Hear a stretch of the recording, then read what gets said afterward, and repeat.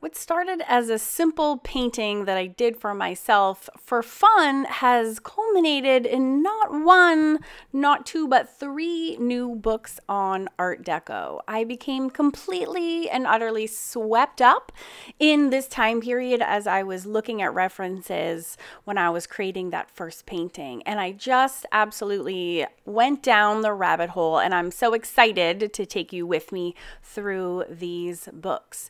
I'm teaching my quadrant method for drawing figures in this book, and it's the first time I've really put down the exact process that I use for drawing figures. And there's videos that accompany these projects as well. So if the book, and I go step by step by step, line by line through the book, how to do these drawing and coloring methods, but I do offer some links for additional learning resources as well. We are doing quite a number of full fashion figures from the time period. We're going to look at exactly how to draw and exactly how to shade many of the projects in many different ways. You can do markers through layerings. We're going to do watercolor markers. We're going to be looking at watercolors.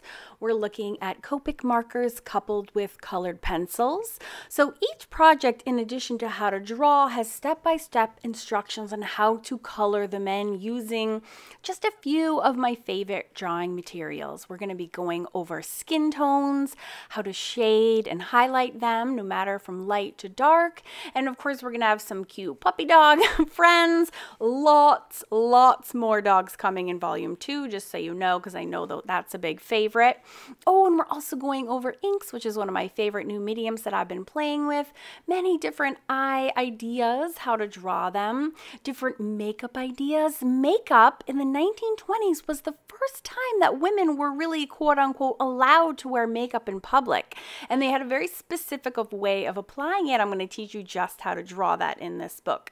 We're also going all through all the different styles of bobs that they had, how to draw them, and then there's four complete face drawing projects in the book as well.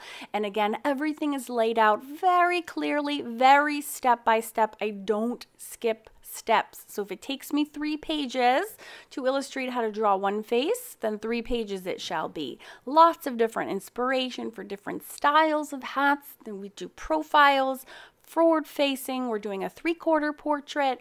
Um, lots of different inspirations. And there's also little chapters and tidbits there on the history of the clothing and the makeup and the fashions as well. So it's sort of like this dream book. Oh, and the jewelry, I almost forgot. It's like Zentangling on steroids when you're making these beautiful masterpieces come to life. The process of doing jewelry is very, very relaxing.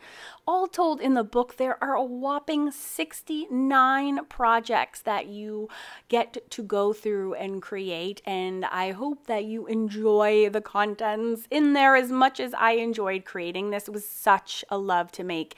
And I can't wait to show you volume two for when that comes out as well. So stay tuned. And there's a coloring coming out to boot.